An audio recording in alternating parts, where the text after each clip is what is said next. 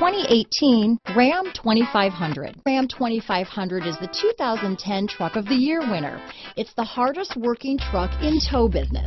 Here are some of this vehicle's great options stability control, traction control, tow hitch, anti-lock braking system, backup camera, adjustable steering wheel, power steering, four-wheel disc brakes, cruise control, auto-dimming rear view mirror, four-wheel drive, AM FM stereo radio, child safety locks, MP3 player, power windows, passenger airbag, power door locks, intermittent wipers, brake assist. This beauty is sure to make you the talk of the neighborhood, so call or drop in for a test drive today.